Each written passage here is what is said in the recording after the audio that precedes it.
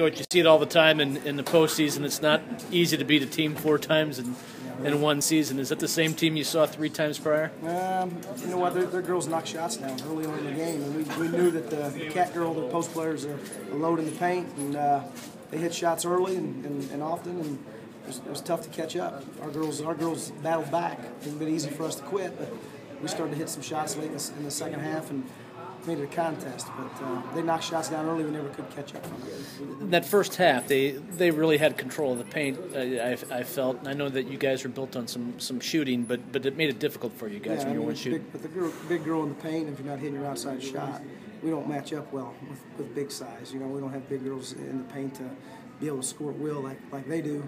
So we rely a lot on the on the perimeter shot, and they weren't falling.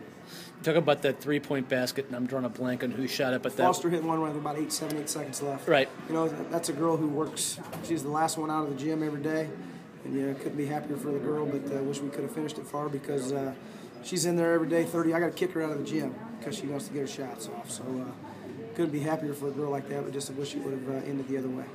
absolutely. Thanks, Coach.